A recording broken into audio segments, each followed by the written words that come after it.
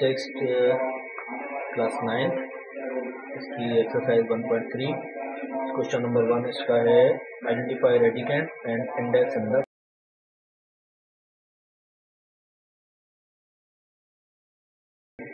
इसमें हमारे पास सवाल इस तरह से होंगे। ये इसको हम अंडर रूट भी कहते हैं स्क्वायर रूट या रेडिकल भी कहते हैं। इसके नीचे अगर वैल्यू हमारे पास एट है तो इसमें आइडेंटिफिकेशन हमें ये करनी है कि रेडिकेंट रेडिकेंट जो है वो क्या है और इंडेक्स क्या है, ठीक है? तो इंडेक्स बेसिकली जो यहाँ पर वैल्यू होती है, अगर कुछ भी नहीं है, अगर सिंपल अंडर रूट आपके पास है ना तो इसका मतलब है इसके अंदर जो इंडेक्स है वो हमारे पास होगा इंडेक्स होगा टू अगर कुछ भी नहीं है, अगर आपको गिवन है समथिंग यहाँ पे अगर एन लिखा हुआ है तो इसका मतलब है यहाँ पे इंडेक्स आपके पास होगा एन सिमिलरली अगर यहाँ पे तीन लिखा हुआ है तो इसका मतलब है इंडेक्स यहाँ पे कितना है? तीन। तो इस वाले क्वेश्चन में अंडर रूट एट जो है, इसमें रेडिकेंट जो है हमारे पास वो होगा एट और इंडेक्स जो होगा हमारे पास वो होगा टू इसका question number one exercise one point three question number one से थ्री इंडेक्स में है, यहाँ पर फाइव है. तो आइडेंटिफाई हमें करना है कि इसमें इंडेक्स कौन सा है रेडिकेंट कौन सा है.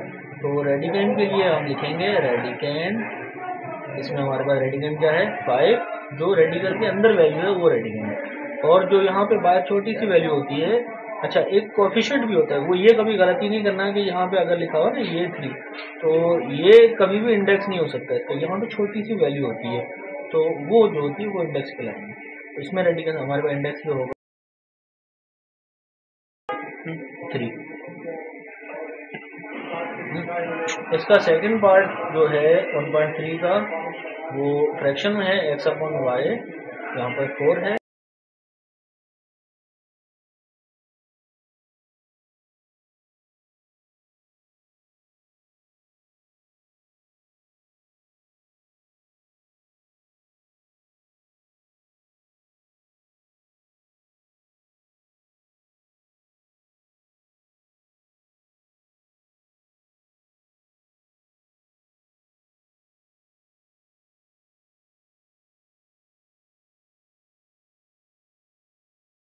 वाई जेड और इसका जो इंडेक्स होगा, वो क्या होगा?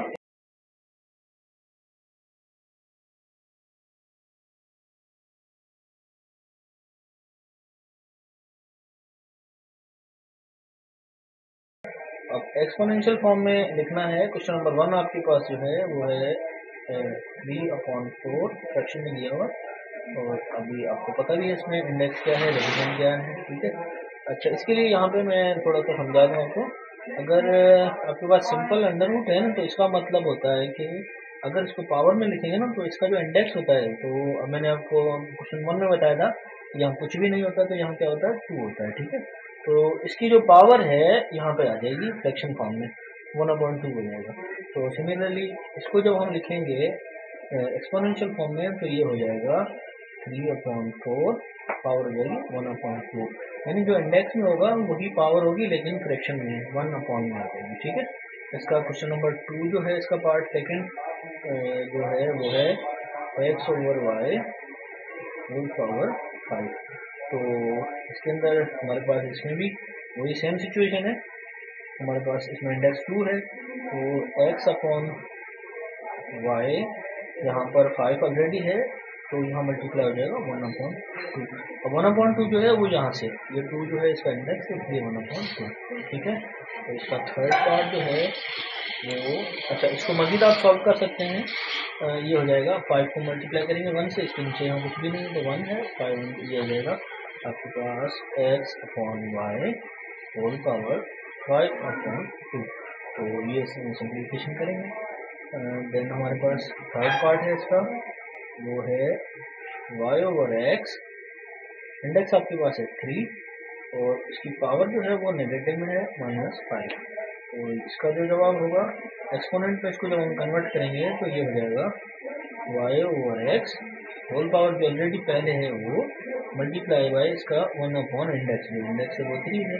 तो ये हो जाएगा आपके पास वाई ओवर एक्स तो ऐसी माइनस फाइव ओवर थ्री इसको इससे ज़्यादा सिंप्लीफाई नहीं करना। क्योंकि उस क्वेश्चन में यही कहा है कि इसको ट्रांसफॉर्म करना एक्सपोनेंशियल फॉर्म में, ठीक है? अब इसको सिंप्लीफाई कहता तो मनी ले जाते हैं अदरवाइज़ यहीं पे रोको इसका फोर्थ पार्ट है y into z whole power seven है, और हमारे पास अंडर रूट इंडेक्स में हमारे पास थ्री है। तो यहाँ पे करेंगे y into z power seven already है इंटू वन अपॉन ये इंडेक्स में थ्री ये हो जाएगा y z whole power seven into one करेंगे तो ये हो जाएगा सेवन अपॉन थ्री ये आपके पास फोर्थ पार्ट हो गया इसका। तो इसका जो नेक्स्ट पार्ट है, वो हम यहाँ करेंगे। इसका फिफ्थ पार्ट वो है आपके पास ट्वेंटी सेवन यहाँ पे आपके पास नाइन है। तो हम इसको ब्रैकेट में पहले कन्वर्ट करेंगे twenty seven power one over nine ठीक है? यहाँ पे इंडेक्स में नाइन है तो यहाँ पे वन ओवर नाइन आ जाएगा, इसको जस्ट यहीं पे छोड़ देना है। देन हमारे पास इसका सिक्स पार्ट तो उसमें हमारे पास इंडेक्स में थ्री है तो यहाँ पे माइनस में सिक्सटी फोर होल पावर आपके पास जो है वो टू है। तो इसकी सिंपली ऑलरेडी टू है, और मल्टीप्लाई करेंगे वन ओवर थ्री से। तो ये आपके पास हो जाएगी minus sixty four whole power two by three ये इसका आंसर है। उसके बाद हमारे पास नेक्स्ट क्वेश्चन है सेवन पार्ट ये जो है, आपके पास one over two whole power इसमें एन है और रेडिकल में दिया हुआ है। यहाँ पर है थ्री मैक्स में। हो जाएगा one over two power n edit रखेंगे। Multiply by one over three तो इसको मजीद सिंप्लीफाई करेंगे तो ये हो जाएगा one over two whole power m over three ये इसका फाइनल आंसर है। इसका लास्ट पार्ट है क्वेश्चन नंबर टू का। दैट इज़ यहाँ पे हमारे पास डबल अंडर रूट होगा। अंडर रूट के अंदर एक और अंडर रूट है। ये हो जाएगा फोर ओवर थ्री तो हम क्या करेंगे? अलग अलग इसको करेंगे। पहले एक अंडर रूट को आज़ाद करेंगे। Four over three whole power one over three पहले जो ये बड़ी अंडर रूट है, इसको हम सॉल्व करेंगे। उसके बाद हम इसका रिमेनिंग पार्ट में यहाँ इस तरफ़ ले जाता हूँ।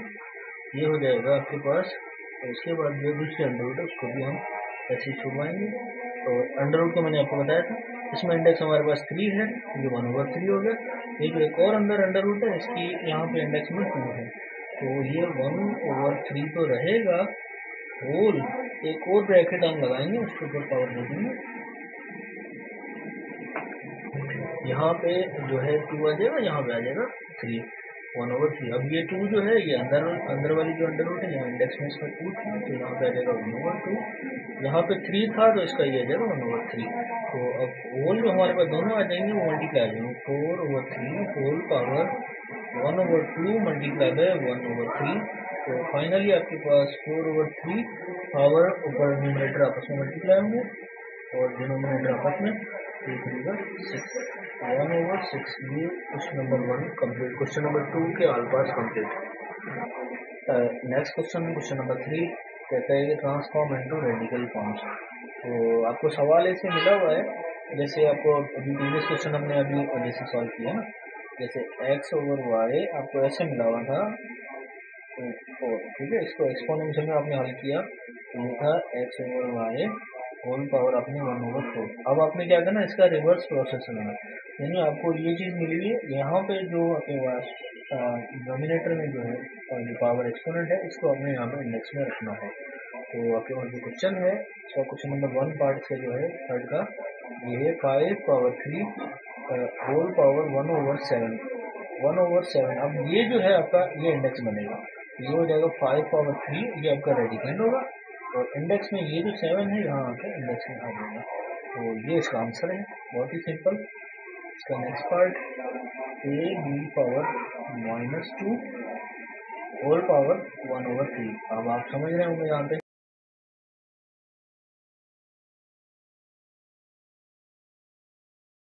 माइनस टू इसको हम यहाँ पे इंडेक्स में रखेंगे थ्री तो नेक्स्ट पार्ट हमारे पास है ये फाइव और seven whole power three again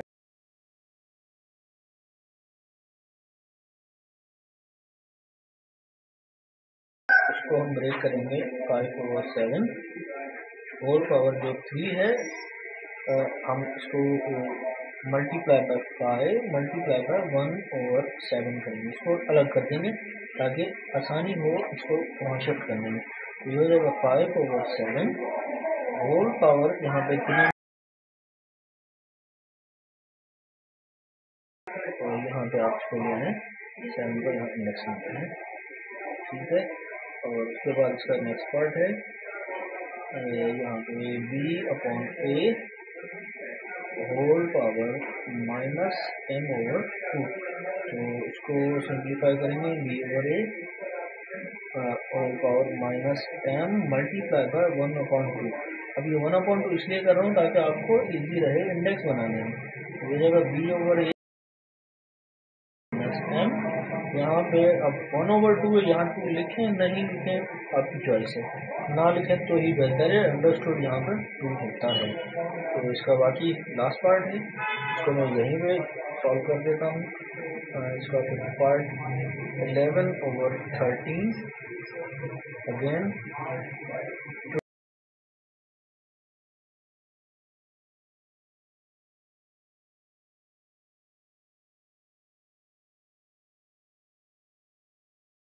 तो सिंपल ही है। अंदर यहाँ पे फ्रैक्शन से बिल्कुल परेशान नहीं होना, काफ़ी बच्चे परेशान हो जाते हैं ये अपॉन में है, ऐसा कुछ भी नहीं। आपने सिर्फ़ इसको देखना पावर को। तो वन ओवर फाइव है, ये आपको ऑलरेडी इजी बनी भी आपके लिए पावर इसको अपने इंडेक्स में लाकर पुट कर देना। यहाँ पे आ जाएगा eleven over thirteen multiply by twelve over thirteen इसको आप डायरेक्ट यहाँ पे लेकर आ जाएँ फाइव को। तो ये आपकी एक्सरसाइज